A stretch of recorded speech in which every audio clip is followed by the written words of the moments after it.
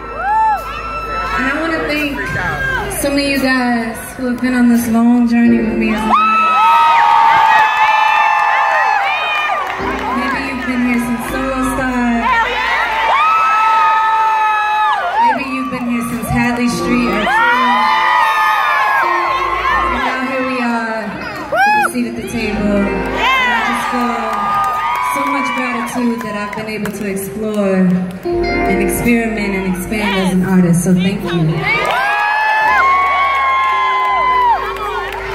Some of y'all might have been with me since um,